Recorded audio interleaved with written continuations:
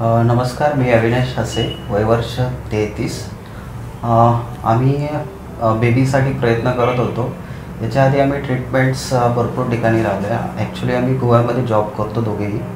तर गोव्यामध्ये डॉक्टरांकडे ट्रीटमेंट लावल्यानंतर आम्हाला तिथे काही सक्सेस भेटला नाही. इनिशियली काही आय आय झाले पण त्याच्यामध्ये पण काही सक्सेस भेटला नाही. त्याच्यानंतर आम्हाला काही रिलेटिव्सकडनं इन्फॉर्मेशन भेटली की नाशिकला एक डॉक्टर्स आहेत. आणि त्यांचे सक्सेस रेट खूप चांगले आहेत. तर त्याच्यानंतर मग आम्ही इकडे व्हिजिट केली आणि सुरुवातीला डॉक्टरांशी बोलल्यानंतर थोडंसं थोडी पॉझिटिव्हिटी आली.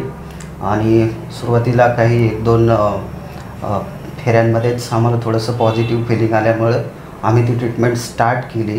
आता सरस्वती तिचा अनुभव शेअर करेल.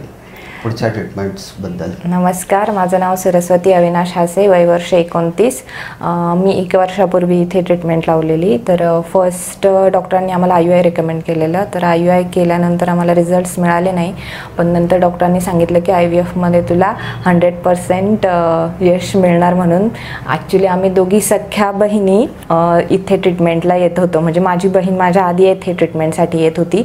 तर तिला इथे रिझल्ट्स मिळाले तर मग आणि मला पॉझिटिव्हिटी आली आणि कॉन्फिडन्स आला की मलाही लवकरच रिझल्ट्स मिळतील. आणि डॉक्टरांनीही एव्हरी टाईम आम्हाला कॉन्फिडन्स दिला की तुम्हाला दोघीही बहिणींना इथून तुम्ही बाळ घेऊन जाणार म्हणून.